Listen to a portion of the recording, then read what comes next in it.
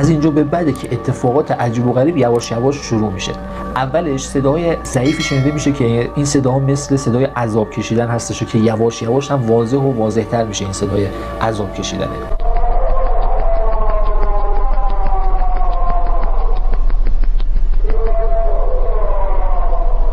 بعد یک دفعه میکی شروع می‌کنه به خندیدن انگار که تمام غماش رو فراموش کرده و از اینجا به بعدشه که سرعت خراب شدن خونه ها بیشتر و بیشتر میشه.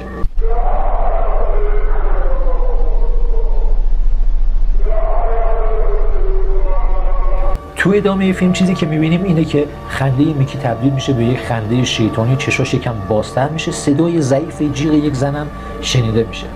پشت خونه هم یک آتیشی دیده میشه و یواش یواش صدای جیغ زنم به اوج خودش می‌رسه.